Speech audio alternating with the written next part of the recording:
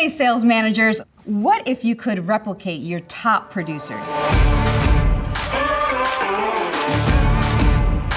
I'm Millie Figueroa, and along with Mike Kunkel, I'll be guiding you on your journey to sales coaching excellence. Sales managers know that they should be coaching, but don't have solid frameworks for doing it.